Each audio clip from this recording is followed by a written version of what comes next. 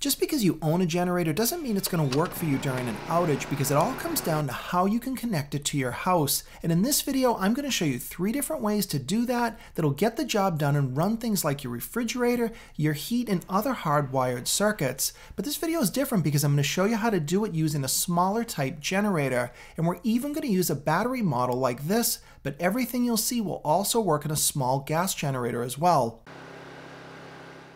Battery generators and power stations have a huge advantage, and that's that you could run them inside your house. No emissions means you can actually place them near the appliance that you want to run. So this is very easy to do. You can plug your things right in the front, and you don't need any extension cords. Now I know this is super easy, but for many people, this is the simplest way to use your battery generator to run your things. Now this isn't going to help you if you've got a gas-powered unit because you'll need to place it outside. And even with a battery unit inside the house, the other limitation is you can't run anything that's too far away. Now, many people will just go out and buy a bunch of extension cords because that seems like a great solution, but I've got a better option that makes that a lot easier. These are 25 foot cord reels. These are inexpensive, and the benefit here is that you run one cord, but you'll get four plugs on the other end. And this works really well if you're going to place this, say, in the center of your house. Now you can run, say, one or two of these to other spots, and you'll get four outlets in each location. The other benefit is this model also includes a light so that you'll know when the connection is good and these have some huge advantages over just an extension cord because when they're not in use, they reel up quickly and now you can store them in a small amount of space. This one's old and you can't get it anymore, but I've linked a newer updated model in the description. But it still has one limitation. You can't run things like a heating system or something else that's built in. This is called a transfer switch, and you might have heard of these before, but this one is different. This is a smaller switch that's designed to work with smaller generators. You can directly connect your battery type unit or a gas unit to the switch for instant use. And if you're capable, you can easily install this yourself in under an hour, or you can pay an electrician. When your power goes out, using the switch is easy. If you've got a battery type unit, set it up nearby, and if you've got a gas unit, of course, start it running outside, and now you'll need to get your next item, which is a heavy duty extension cord. Just plug one end into your generator and the other end goes into the bottom port on the transfer switch. Now at this point you've made that safe connection to feed the power in and all you've got to do is flip those switches. Now if you look closely you'll see they have three different positions. It says off in the middle, and on the bottom it says line, and on the top it says gen. Line is meaning the street power, and that's where they would normally be. The middle position is just off, but when you flip them to the gen position, now you're feeding the power from your generator directly into the circuits. And now I can run my refrigerator and maybe some other circuits like lights or a microwave that are tied directly into those circuit breakers. And this is the only safe and legal way to directly feed power into your house.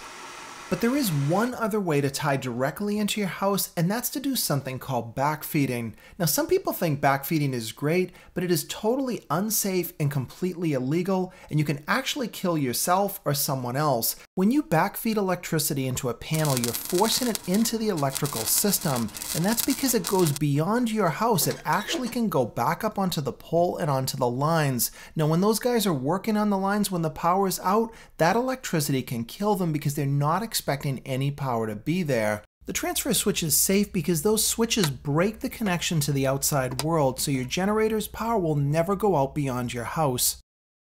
The biggest question is, does any of this even make sense to use a small generator like this using a battery to run your heat or a refrigerator? Well, it absolutely does because it works. Now, many of you might think it's impossible or there's no way it could work, so I've put together a basic test to show you the kind of results you can get. Now, this is a Leoch 2000 watt power station, battery generator, whatever you want to call it. There's electricity coming out of it, and you can use it in your home.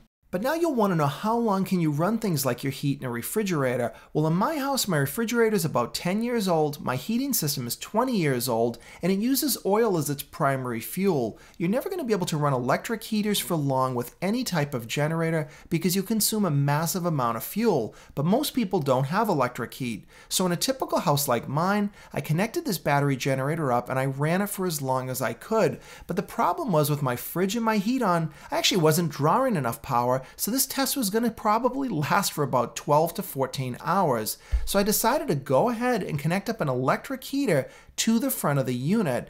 That way, instead of drawing this 150 to 400 watts, I boosted it to about 1100 watts. Now that was a continuous draw and I could run it for about two and a half hours. Now you might think that's not very long, but remember, had I left it with what I just actually needed, which was my heat in my refrigerator, it could have run for well over eight hours. That's really impressive for a small unit like this. In this Leoch unit you're looking at is a 2000 watt battery type generator. I have a full review on this, but if you're looking into one of these for yourself, this thing is being sold right now for under a $1,000, and for the amount of power and specs it has, it is the best on the market. So hopefully you liked this video, gave you a little bit of information on how to better use one of these small units in your home, and also showed you the type of real world results you can get and I hope you liked this video and found it helpful. If you did, please give me a thumbs up and subscribe to my channel if you're not already for more videos coming up.